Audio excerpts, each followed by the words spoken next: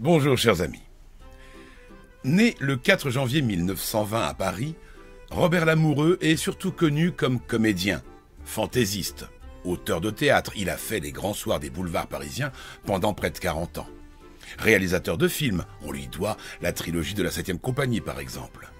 Mais c'était surtout un auteur tout court. Sketch, chansons, théâtre, je l'ai déjà dit, et des poèmes, rien ne lui résistait. Robert Lamoureux, c'est une fantastique maîtrise du rythme et du vocabulaire. Chaque mot est précis et rigoureusement à sa place. Il a su nous faire rire et nous toucher avec un bonheur égal. Lettre à Dédé, Viens à la maison ou Le dernier de la classe ont même été évoqués par mes profs de français pendant ma scolarité. C'est pourquoi aujourd'hui, j'aimerais vous proposer l'un des plus beaux textes que je connaisse sur la vie d'adulte et la vie de père, au titre insolemment tendre, Éloge de la fatigue.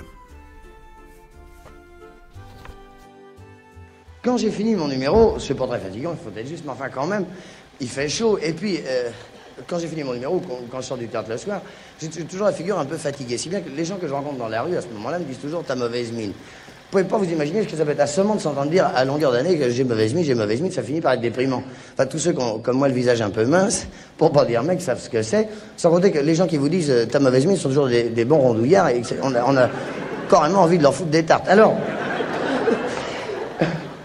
comme on n'a jamais mauvaise mine que parce qu'on est fatigué, et comme on n'est jamais fatigué que parce qu'on travaille, j'ai pensé que pour tous les gens qui travaillaient et qui étaient fatigués et qui partant avec plus ou moins mauvaise mine, j'ai écrit un petit poème que je leur dédie, et puis que je me dédie un peu de temps en temps à moi-même, et que j'ai intitulé L'éloge de la fatigue.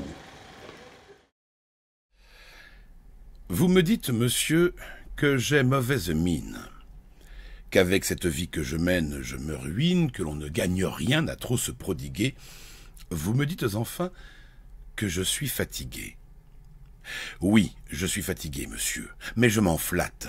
J'ai tout de fatigué. Le cœur, la voix, la rate, je m'endors épuisé, je me réveille là. Mais grâce à Dieu, monsieur, je ne m'en soucie pas. Ou quand je m'en soucie, je me ridiculise. La fatigue souvent n'est qu'une vantardise. On n'est jamais aussi fatigué que l'on croit. Et quand cela serait, n'en a-t-on pas le droit? Je ne vous parle pas des tristes lassitudes qu'on a lorsque le corps, harassé d'habitude, n'a plus pour se mouvoir que de pâles raisons, lorsqu'on a fait de soi son unique horizon, lorsqu'on n'a rien à perdre, à vaincre ou à défendre, cette fatigue-là est mauvaise à entendre. Elle fait le front lourd, l'œil morne, le dos rond, et vous donne l'aspect d'un vivant moribond.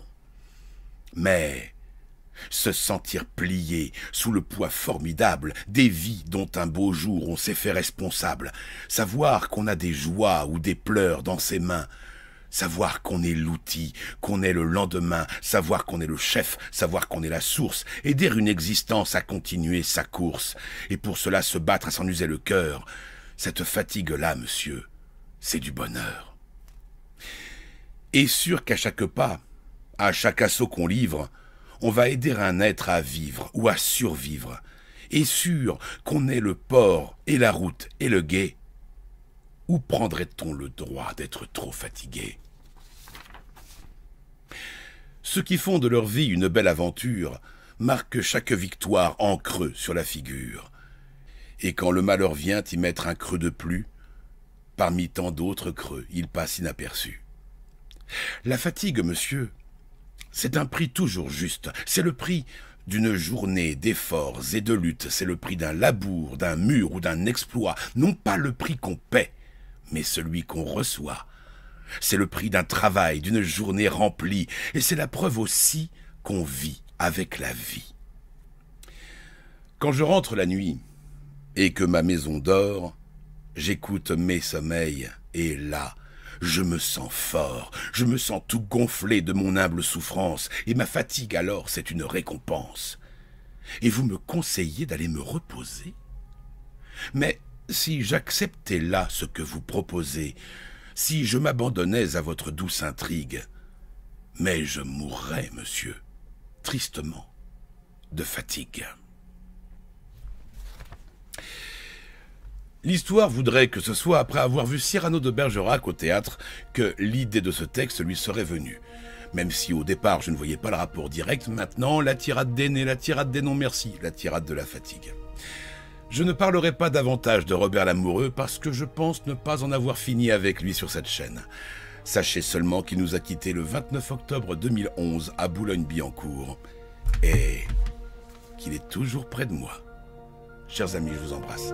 À bientôt.